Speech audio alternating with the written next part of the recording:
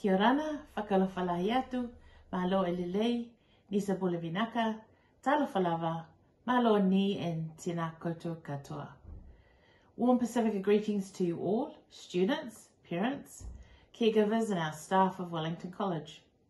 I am Nuolitia Liz Pa'o College Chaplain and it's great to see communities of people expressing care and compassion, generosity and kindness, resilience and patience of one another in the last few weeks.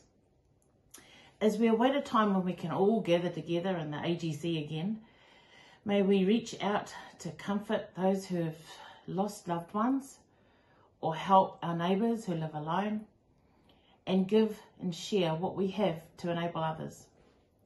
Let us value our relationships. Let us serve each other, become aware of others' needs. And as we build on what we have learned along the way during this pandemic, I know that we will come out of it together. We all look forward to being together soon. E manuia, fa'afetai lava.